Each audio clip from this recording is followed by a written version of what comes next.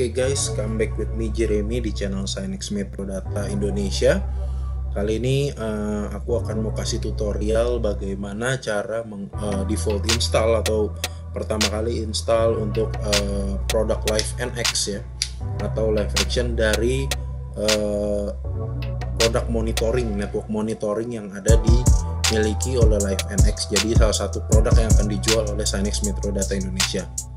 Dan ini kita langsung aja tanpa berlama-lama. Ya oh iya jangan lupa untuk teman-teman yang mau like and subscribe ya video kita jangan lupa subscribe juga like and share ya. Mau di LinkedIn di Twitter di Facebook silahkan. It's okay kita akan sangat berterima kasih. Kita belajar sama-sama semoga uh, ilmu ini sangat membantu buat teman-teman. Oke? Okay? oke okay, kita langsung aja. Di sini saya punya uh, VMware Workstation ya. Jadi gunain apa aja? Mau VirtualBox mau Hyper-V it's okay. Jadi teman-teman tinggal sesuai dengan paskan dengan selera teman-teman masing-masing ya. Nggak usah takut. Lalu saya hanya tinggal melakukan karena installernya itu OVF ya. Jadi untuk teman-teman yang mau uh, coba nanti uh, sebelum itu sorry saya sedikit cut. Jadi akan ada saya bagi linknya nanti di kolom deskripsi ya. Teman-teman uh, lihat aja ya nanti di kolom deskripsi.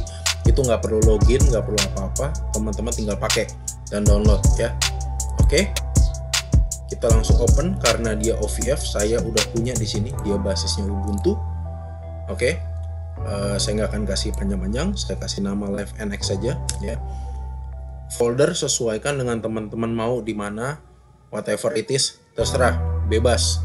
Kita nggak akan menargetkan ya satu dan lain hal, terserah. Jadi teman-teman mau mau di pad yang mana, mau di drive D, mau di drive E, cukup gitu. Nah, yang jadi uh, sedikit untuk teman-teman perhatikan ketika nanti ada sizingnya adalah nanti uh, ada sizing tersendiri dan itu harus diskusi dengan pihak kami. Itu yang harus diperhatikan. Oke? Cepat sekali diimport ini sudah jadi. Cuman berhati-hati karena saya di sini menggunakan laptop bukan server ya. Saya edit dulu virtual machine-nya di sini karena terlalu besar walaupun saya punya memori 32 GB di laptop saya tapi saya nggak akan pakai saya hanya akan gunakan 4 saja. Karena hanya untuk demo biasanya cukup. Dan ini uh, memorinya tidak mungkin saya punya 16 prosesor saya bukan server jadi satu dan core-nya saya gunakan uh, dua saja sudah cukup sih gitu. Disk kalau mau di-expand silahkan di-expand tergantung kebutuhan dari teman-teman ya. Kalau punya disk seperti ini silahkan Oke, okay. saya juga custom karena di sini sekali lagi saya sudah mengkonfigurasi uh, untuk jalur NAT-nya saya pindahkan bukan di VMNet 8 tapi kalau teman-teman sudah menggunakan VMNet 8 it's okay secara default no problem ya tergantung kebiasaan kita langsung oke okay aja oke okay. kita power on langsung jadi prosesnya ini tidak akan lama ya jadi dia akan langsung uh, naik dia seperti ini ya. Teman-teman bisa lihat. Tunggu aja sebentar seperti Ubuntu boot up pada umumnya. Dan biasanya hitungan under satu menit lah satu menit atau dua menit biasanya dan dia sudah up sih. Gitu. Ya. kita tunggu aja. Oke. Okay karena saya uh, defaultnya adalah DHCP di sini bisa kelihatan dia menggunakan IP DHCP dari uh, VMware saya dua. Tapi kalau teman-teman mau ganti tinggal pencet satu ya. Kita gunakan password change me. Ya.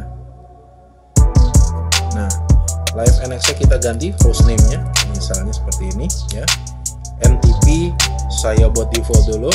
IP addressnya misalnya saya ganti jadi 99 ya. Sesuaikan dengan teman-teman. NetMesh juga sesuaikan dengan VMnet yang sudah diberikan ya dari VMware-nya. Jangan dibedakan.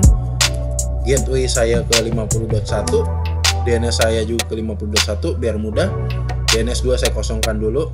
Saya akan save yes ya. Seperti ini. And sebenarnya di sini kita sudah selesai secara keseluruhan ya jadi teman-teman tinggal uh, yang harus dilakukan uh, biasanya kalau saya akan meribut ya. Jadi untuk meribut atau kita mau login ya biasa saya ribut dulu ya. Ribut dengan password change me yang tadi ya. Kalau kita akan ribut kita akan ribut ya. Seperti ini. Kita akan ribut. Nah proses ini kurang lebih akan sedikit makan waktu. Jadi teman-teman tunggu aja it's okay ya dia akan sekitar 5 menit 4, 4 sampai 5 menit bisa tertera di sini. Ya teman-teman bisa lihat di sini. Ya teman bisa lihat di sini nih. Oke jadi prosesnya akan sedikit makan waktu but it's okay. Ya kita tunggu aja. Sekali lagi untuk teman-teman yang mau subscribe channel kita Sinix Metro Data Indonesia silahkan subscribe. Dan untuk yang mau like and share video kita silahkan. Kita berterima kasih sekali. Kita sama-sama belajar. Jadi buat teman-teman biar lebih paham. Jadi sekali lagi live and live action ini ada produk untuk kategori uh, network monitoring system. Ya kalau kalau mungkin pada kenalnya itu adalah NMS ya zaman dulu. Network monitoring system. Ya. Oke okay.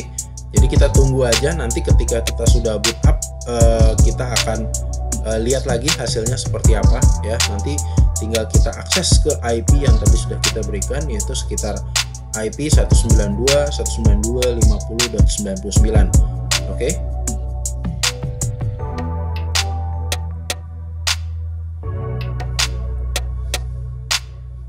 Oke, okay, sembari mungkin kita nanti juga sembari menunggu buat teman-teman yang belum download, yang belum uh, mau tahu tadi downloadnya apa, ada di www.liveaction com slash download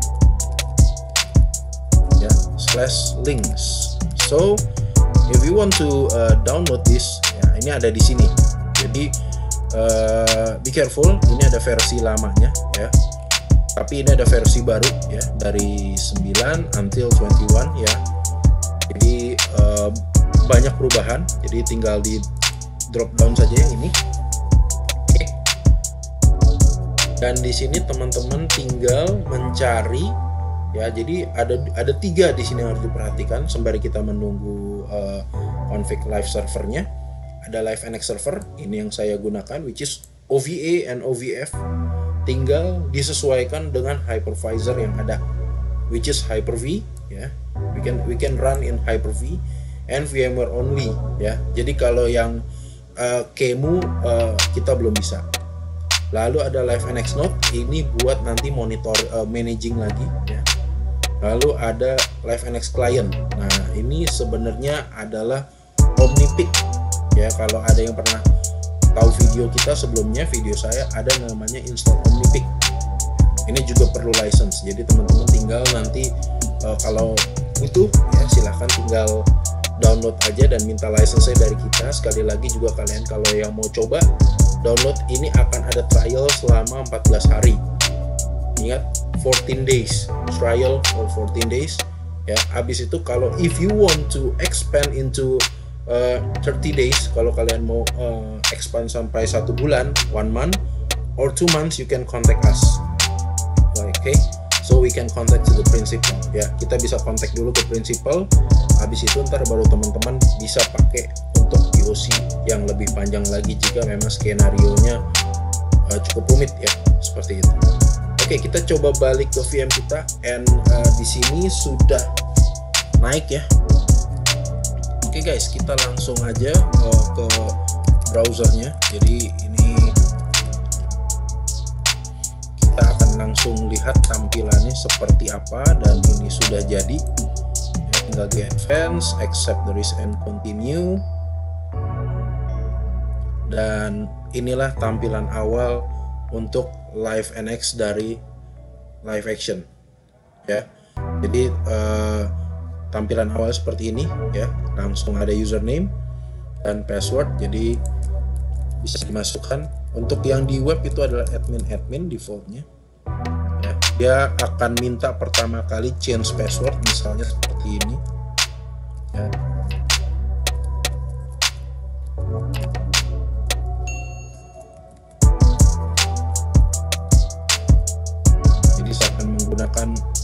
live action one. Ya. akan update. And inilah pertama kali. Di sini kita ada trial tadi saya bilang 14 hari. Jadi teman-teman silahkan saja menggunakan uh, trial ini 14 hari. Kalau mau use trial license di sini ada tombolnya. Tinggal diklik dan tinggal diisikan saja setelah itu done. Oke? Okay? itu saja yang bisa saya demokan untuk kali ini. Jadi buat teman-teman silahkan kalau mencoba link downloadnya sudah saya kasih tahu.